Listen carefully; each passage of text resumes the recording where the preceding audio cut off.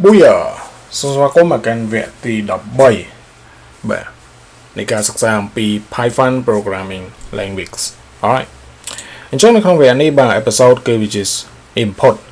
which is ដូចដែលបងប្អូនឃើញ input ឡើយនេះវាយើងដាក់ input នៅខាងក្រោមនេះមានន័យថាយើងអត់ចង់ឲ្យបិទនៅ console នេះបាទយើង console នេះ console ដែលយើងមាននេះបាទពីព្រោះតែឯកសាររបស់យើងវាជាយើងត្រូវបើកវាចោលអញ្ចឹងហើយនៅពេលដែលយើង print enter វានឹងបិទចាស់ ហើយឥឡូវខ្ញុំចង់វាជាយើង set នៅ input យើងបង្កើត input ថ្មីដល់និយាយថាអូខេលទ្ធផលចេញអីហើយវាវាសូចេញនៅក្នុង result អឺ print យ៉ាងម៉េចទៅកន្លែងវាថា result set equal to can which is input set equal to can input អឺហើយខ្ញុំសួរ what is your favorite song អូខេហើយបើសិនជា យើងវាយបញ្ចូលមែន which is going to be result នៅ result ខាងលើដែលយើងបានទទួលនេះចូលមកកាន់ print message ហើយយ៉ាងណាមិញខ្ញុំ recommend ឲ្យបងប្អូនចូលមកកាន់ file คลิกចូលមកកាន់ file បងប្អូនឃើញមានពាក្យ auto save មួយคลิกទៅលើ auto save នេះវាធ្វើការ auto រាល់ពេលដែលបងប្អូនវាយនៅឯកសារចប់វានឹងធ្វើការ automatic save ហើយយ៉ាងណាមិញចូលមកកាន់ directory ខ្ញុំคลิกទៅលើ khmer.py which is python pal នេះលើបាទ which is VJ what if your favorite song កន្លែងខ្ញុំនិយាយថា which is going to be prep ខ្ញុំនិយាយថា prep which is prep សវត្តប៉ុន្តែខ្ញុំអត់ដឹងថាខ្ញុំ save prep សវត្តទៅអូខេបើខ្ញុំ press enter ឥឡូវ which is អូខេ boom prep សវត្ត press enter to exit bam ឥឡូវយើងចង់ធ្វើលក្ខណៈមួយផ្សេងបន្តិចថាលក្ខណៈមួយយើងលយតិច which is យើងអឺ so basically រាល់ input ដែលយើងវាយបញ្ចូលនេះវានឹងធ្វើការ return ទៅកាន់ string បាទបើយើងចង់និយាយអំពី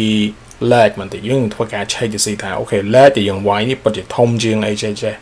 បើយើងបូកជាមួយនឹង estimate បន្តិចកន្លែងនេះយើងនិយាយថា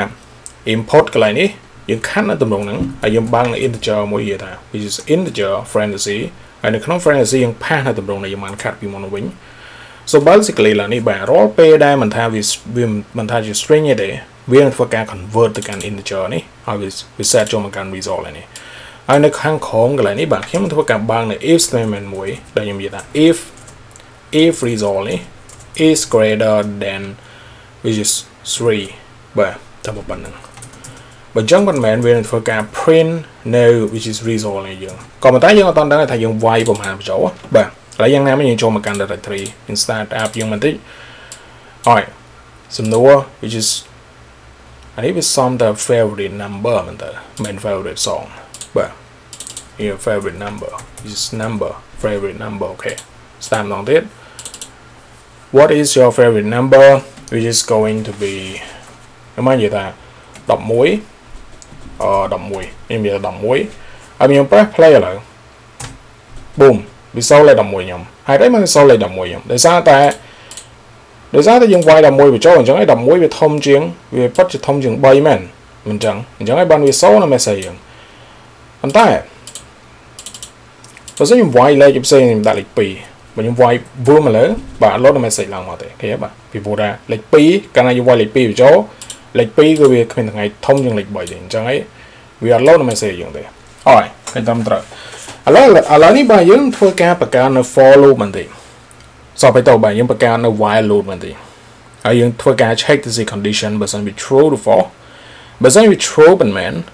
គឺវាធ្វើការ break ហើយបើសិនវាមិន true មិនមែនបើសិនវាអត់ true ទេវានឹងធ្វើការ continue loop true no which is what if favorite នេះយើងម្ដងទៀតហើយឥឡូវយើងលុបតម្រងចោលបន្តិចមក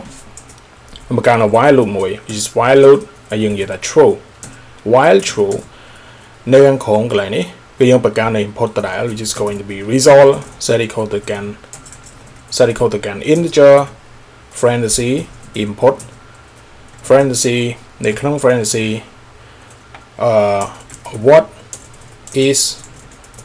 your favorite number alright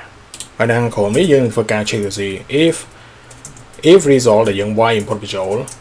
here greater than 5អញ្ចឹងហើយវានឹងធ្វើការនិយាយថាអូខេ